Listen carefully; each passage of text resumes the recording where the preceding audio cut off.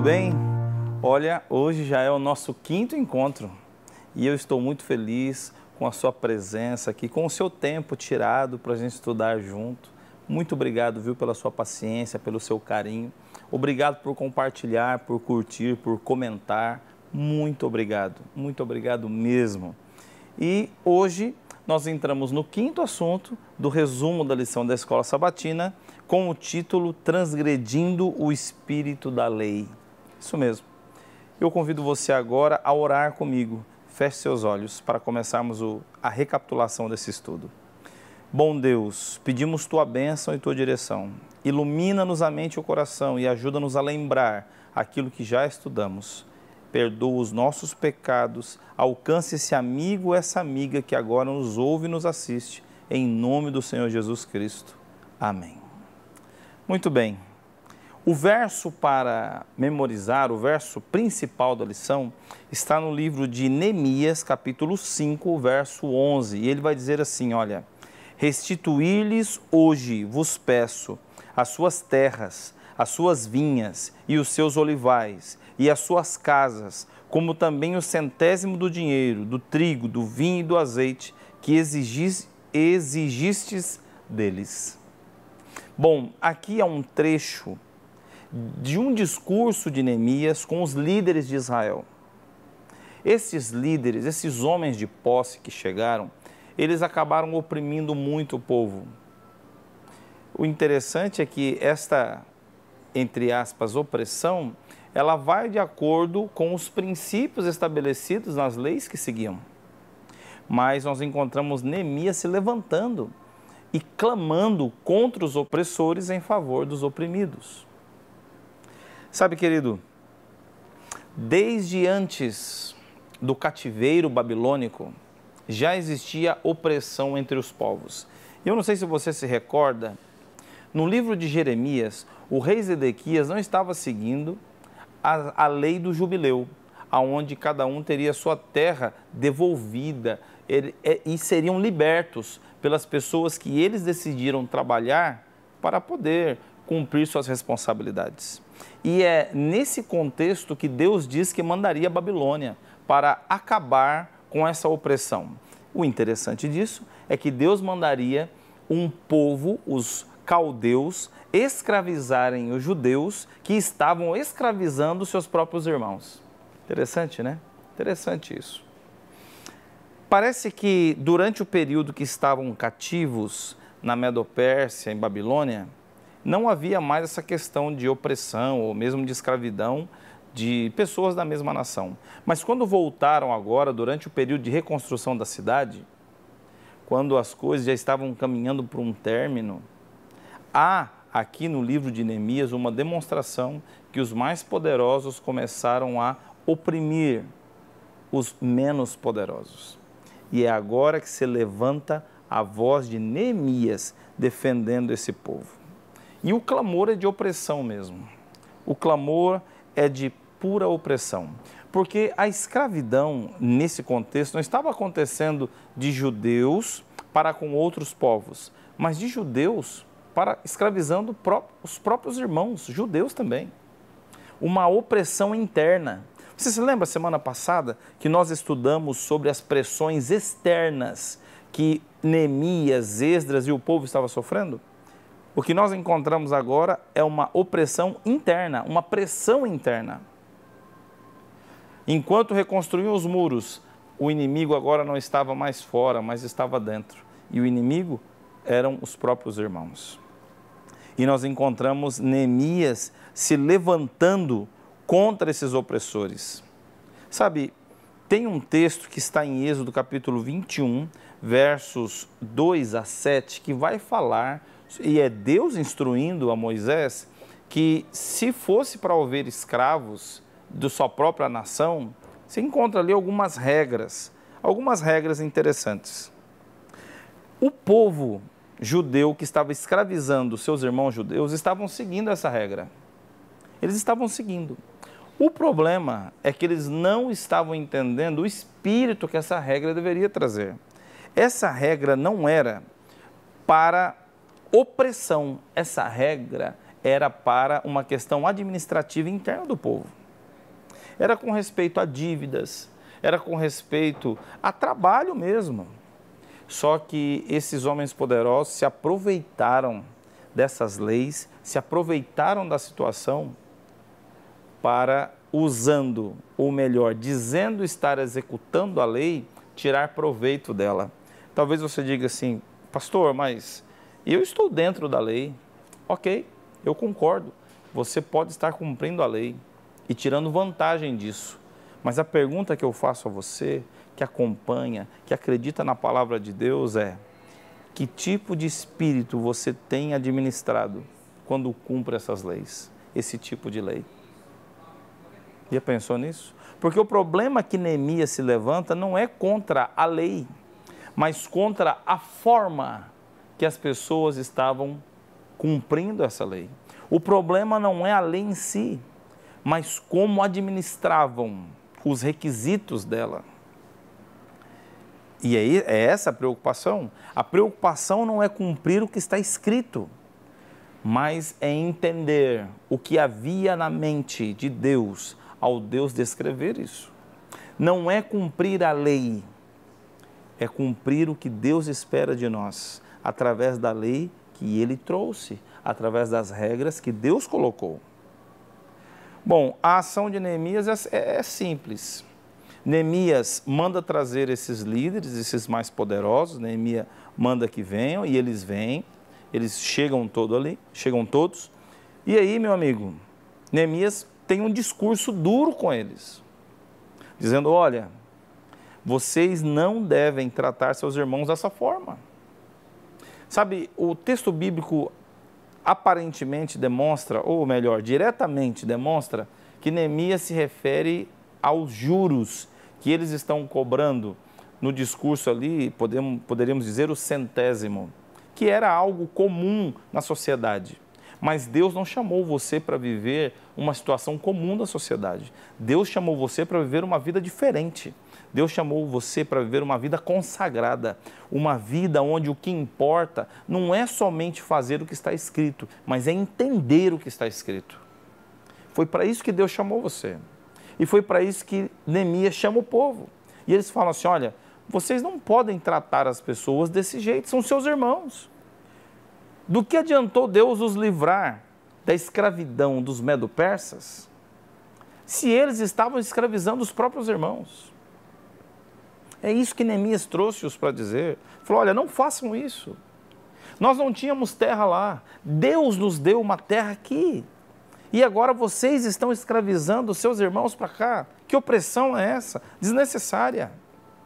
Isso está errado. Foi o discurso de Neemias.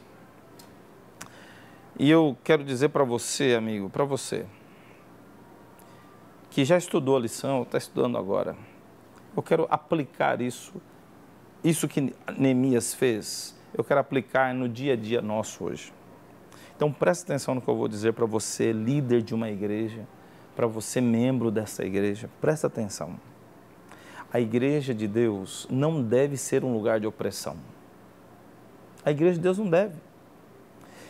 A igreja de Deus não é, ou melhor, a igreja não é uma empresa onde nós temos chefes e subordinados. A igreja não é uma empresa, aonde os subordinados dão satisfação para seu líder. Não é assim. A igreja não é uma empresa. A igreja não é um tribunal, aonde por aqueles que acham que por ter um longo período já de igreja, um longo período de igreja, tem de alguma maneira autoridade sobre aqueles que estão chegando agora. A igreja não é um tribunal, aonde esses chamados magistrados declaram quem está culpado ou quem é absolvido. A igreja não é isso. A igreja não é um teatro, nem uma casa de shows, nem cinema, onde a gente senta e agora você quer assistir uma boa apresentação, um bom sermão. Sabe por quê? Porque alguns dizem: Eu pago o meu dízimo. Você não paga nada. Você devolve o que é de Deus, que foi Ele que pediu. E a igreja não é uma casa de apresentações, onde você senta, olha, ó, oh, gostei, amanhã volto, semana que vem volto. A igreja não é isso, amigo. Porque quando fazemos isso, acabando oprimindo aqueles que estão servindo a igreja. A igreja não é uma empresa. Porque se for assim, os líderes votados pela igreja são os chefes. E os outros são subordinados e têm que dar satisfação.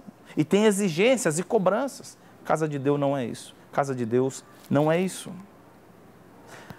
A igreja é chamada casa, mas não é nem a minha nem a sua casa para fazermos o que queremos, para fazer do nosso jeito. A igreja não é isso.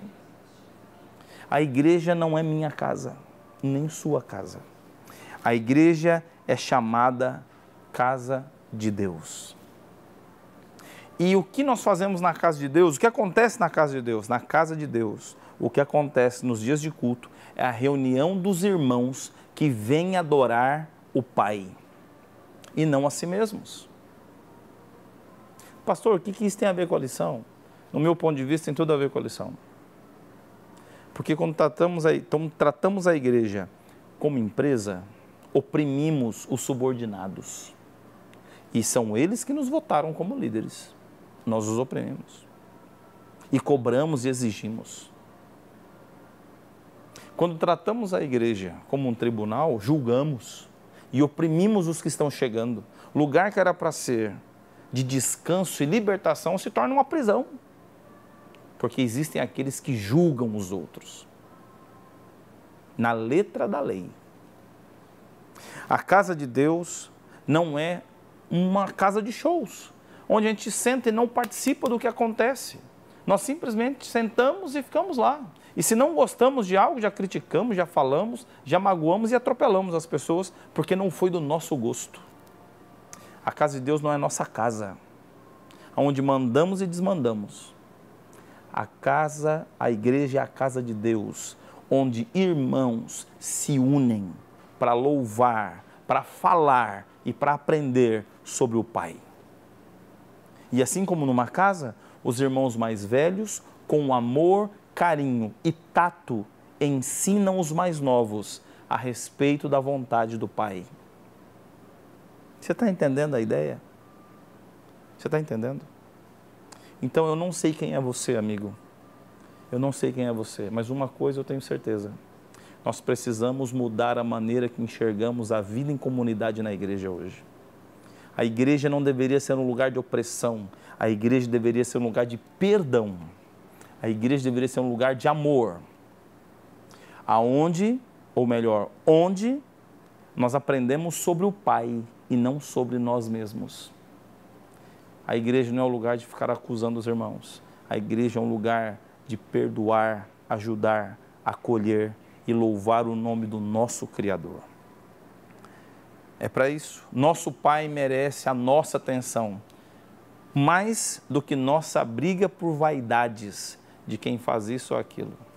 E enquanto os irmãos brigam sobre quem vai fazer o que é mais importante, o Pai fica esperando a nossa atenção.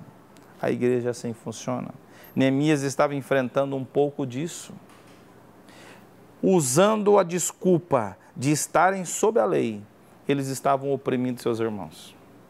Quando na verdade deveriam se unir, deveriam dar as mãos e juntos prosperarem e não querer uma prosperidade a partir da pressão de outros. Sabe, esses homens então escutam o que, o que Neemias, perdão, Neemias é, fala, conversa, e eles falam assim: olha, nós vamos devolver tudo. Nós vamos devolver. Neemias então manda chamar os sacerdotes. E chegando os sacerdotes, Neemias fala assim: ó, vamos jurar diante dos sacerdotes. Olha que coisa fantástica. E eles juram diante dos sacerdotes. E eles falam isso. E eles falam: olha, nós vamos devolver não vamos mais tratar nosso irmão assim, louvado seja o nome de Deus. E ali eles juram que devolveriam. Sabe, a lição vai trazer um ponto importante. Preste atenção nessa frase. Você não é obrigado a prometer, mas se prometeu, você tem obrigação de cumprir. Isso é pesado. o poder que existe na palavra. Nós não somos obrigados a prometer nada para Deus, mas se você prometeu, meu querido, você tem que cumprir. E eu não estou dizendo isso para você, eu estou dizendo isso para nós. Por isso eu quero te dar um conselho a esse respeito. Presta atenção no que eu vou te dizer. Não prometa nem faça alianças com Deus a partir de uma situação emocional da sua vida. Como assim? É verdade. Às vezes prometemos para Deus coisas que nós não teríamos, não temos condições de cumprir, mas com o interesse que Deus faça aquilo, nós prometemos algo que é inalcançável para nós. Pessoas prometem coisas para Deus que não têm condições nem começar o seu cumprimento. Sabe por que eu estou dizendo isso? Porque Deus, Ele é um Pai que dá, Ele é um Pai que oferece. Deus não troca com a gente. Mas se você prometeu alguma coisa para Deus, faça. Se você prometeu a Deus que deixaria a bebida, é hora de deixar. Se você prometeu a Deus que deixariam as drogas, é hora de deixar. Mas, pastor, eu não consigo, então peça a Ele que te ajude. Se você prometeu ao Senhor que começaria a ler a Bíblia e terminaria até o final do ano, olha, só faltam dois meses, hein? O que prometemos temos que cumprir, porque Deus leva em conta o que falamos. Antes de prometer alguma coisa a Deus e ao próximo, pare, reflita bem e então decida. Não faça isso simplesmente por emoção ou por necessidade, tá bem? Bom, o último ponto que a lição vem trazendo é sobre o grande exemplo que Neemias foi. Eu acredito muito que o que fez com que esse povo, com que esses homens tomassem as decisões ao lado de Neemias não foram só as palavras de Neemias, mas foi o exemplo de Neemias, a vida de Neemias. A vida de Neemias é uma inspiração. Um líder que vive sua liderança. Sabe, Neemias é capaz de dizer o seguinte: Eu não comi do pão que o governador teria como direito. Sabe o que ele está dizendo? Está falando assim: olha, eu não usufruí dos benefícios que, como governador, tinha, como os anteriores fizeram. E o último governador que é citado para nós é Zorobabel. De Zorobabel até Neemias, de Neemias para trás, até Zorobabel, diz Neemias que ele não usou de nada que poderia usar. Sabe, existem pessoas que quando assumem a posição de poder, elas não se preocupam em suas tarefas, elas se preocupam apenas nos benefícios que vão ter pela posição que se encontram. Ela não está preocupada na responsabilidade, ela está preocupada no que vai ganhar com isso. E você? Você já pensou nisso? O que motiva você a estar à frente, a liderança de alguma coisa? São os benefícios que isso vai trazer para você? O prestígio? A luz? Quem sabe as finanças? Neemias é um líder que não estava preocupado com o que ele poderia ganhar por estar nessa, nessa posição.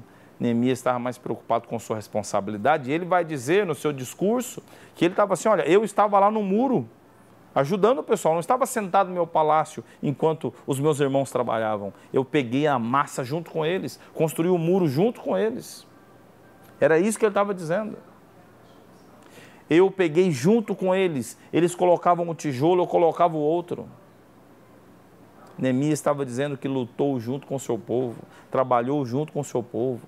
Ele mesmo diz: Eu não coloquei sobre o povo nenhum tipo de peso. Ao contrário, eu peguei alguns que viviam sobre o meu teto. E ele vai dizer aí o volume de comida que ele tinha que fazer para esses homens.